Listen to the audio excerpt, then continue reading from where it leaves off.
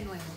En estos tiempos de cuarentena, en donde una de las pocas cosas que sí podemos hacer es sentarnos a picar o a comer, porque estamos muy limitados, les voy a enseñar a preparar un delicioso dip que es para comer con nachos o con tostitos.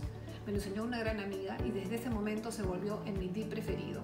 Lo preparo en todas mis reuniones o cada vez que tengo ganas de comer algo frente a la televisión. Espero que les guste. Los ingredientes que vamos a necesitar son un pote chico de salsa de tostitos, queso rallado, en este caso yo he puesto queso parmesano, queso cheddar y queso mozzarella, pero en realidad es al gusto de cada uno. A mí me gustan los tres quesos porque se ve cómo se presenta eh, la fuente una vez que ya está terminado, pero eso es al gusto, puede ser también solamente queso blanco. Y un paquete de queso Filadelfia y por supuesto los nachos. Con la preparación. Vamos a poner paquete entero de queso Filadelfia en el piret que tengo acá. Muy importante es que el queso Filadelfia haya estado fuera de la refrigeradora por por lo menos unos 20 minutos para que esté blando y se pueda... La idea es que forremos el pirex.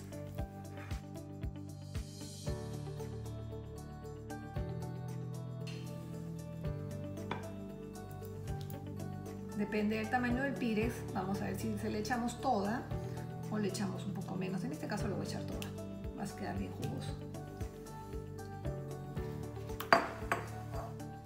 Y ahora le voy a echar el queso rallado encima. Es importante que el queso rallado cubra toda la salsa de los tostitos. Realmente la cantidad de queso que uno le va a echar es al gusto. Yo creo que ya está suficiente. Es importante que antes de que lo ponga al horno lo tape con algún tipo de papel film para que no se salga disparado en el horno microondas. Listo. Esto ya está listo para meterlo al horno microondas. Ya pasaron los 4 minutos y como el Pirex va a estar caliente, lo voy a sacar. A proceder a destaparlo. Vamos a hacer el...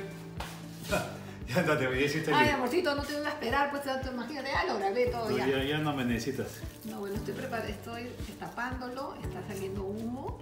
Hay que tener mucho cuidado de comerlo tan pronto salga del horno, esperemos un par de minutos. Pero ahí, miren cómo esto está quemando. Se los voy a enseñar.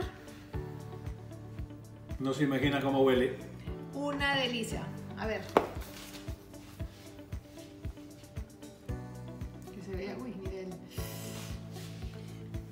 no te vayas a quemar. Mm. Quema. Mm.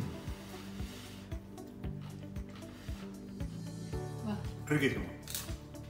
Mm, mm. Delicioso. Que lo disfruten. Buen apetito. Buen apetito.